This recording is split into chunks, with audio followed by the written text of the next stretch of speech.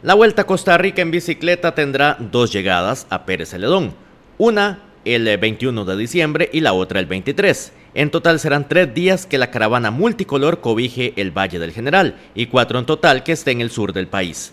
En estos días ya estuvimos hablando con la organización de la vuelta, eh, con la Federación Costarricense, con la FECOSI.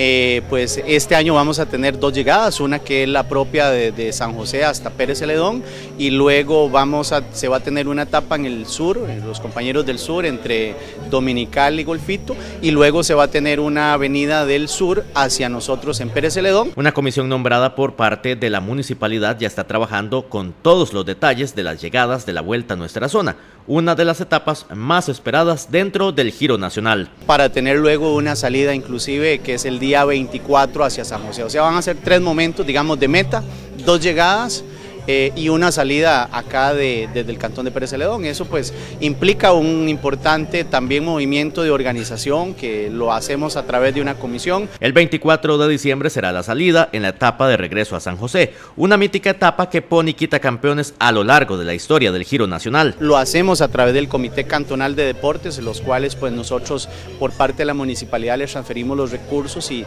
pues ahí la organización que tiene que ver principalmente con hospedaje y alimentación de la caravana completa ciclística que nos acompaña el día 21, eh, día 23 y la salida el día 24 acá en Pérez Celedón. Y creo que y es parte de lo que sumamos dentro de estas actividades de, de fin de año también. Con la llegada de diciembre también huele a vuelta a Costa Rica y en Pérez ya la esperan.